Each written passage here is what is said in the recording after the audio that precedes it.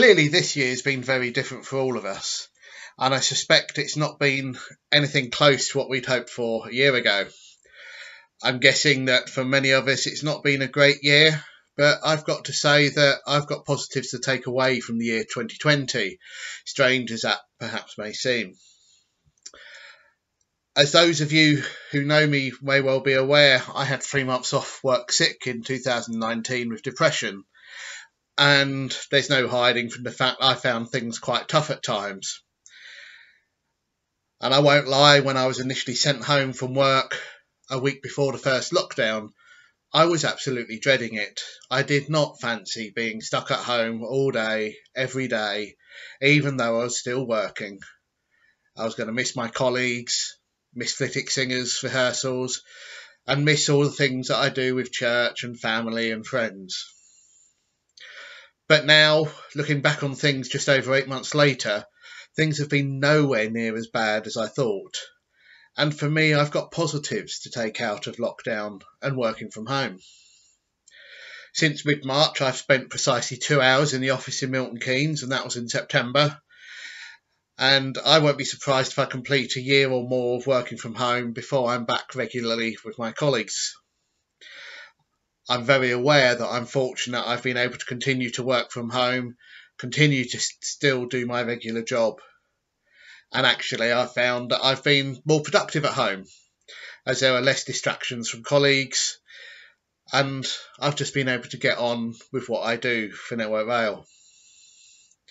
As a team, we're a team of 24. We do all keep in touch through Microsoft Teams during the day, and I'm very conscious that some of our colleagues have not found things at all easy.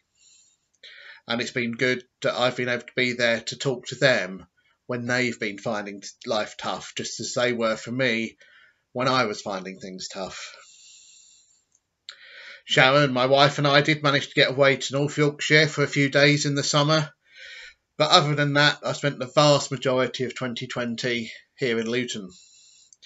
And I'm sure it's the same for many of us. We've been in and around the house pretty much most of the year. Like many others, I've got used to attending meetings and rehearsals through Zoom and other media. I've recorded hymns with the Olive Tree musicians and singers, with the circuit singers, with the National Methodist Choir, and ready for our Zoom concert next week with the Flitwick Singers. All very different, but still very rewarding. As for my mental health, I have to say that I am feeling so much better. But why is that? I think it's because at the start of lockdown, I stepped back from everything other than work. And then I've gradually picked things up again, including the new role of circuit steward, which so far I'm enjoying a lot. But also ensuring that I don't take up too much and overdo it again. Sharon is very much keeping tabs on what I'm doing, and she'll soon tell me when I'm doing too much. So when I look back at 2020 and assess the year at a personal level, I see it as a year of restructure. And I think in that sense, I suspect that I'm probably in the minority of people who's going to come away from 2020 saying it's been a positive year. Certainly a positive year at a personal level. And of course, behind all that was God.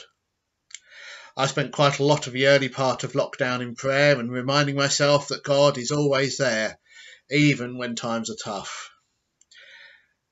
In a moment, I'll share with you a couple of very short passages from the Bible that remind us that God is there whatever is going on in our lives. And they're both passages that I use many times when I've been finding life tough. Now, Uh, the first one is from Philippians chapter 4, verses 6 to 7. Philippians chapter 4, verses 6 to 7. Do not be anxious about anything, but in every situation, by prayer and petition with thanksgiving, present your requests to God. And the peace of God, which transcends all understanding, will guard your hearts and your minds in Christ Jesus. And then from Isaiah chapter 41 and verse 10. Isaiah 41, verse 10. So do not fear, for I am with you. Do not be dismayed, for I am your God. I will strengthen you and help you. I will uphold you with my righteous right hand.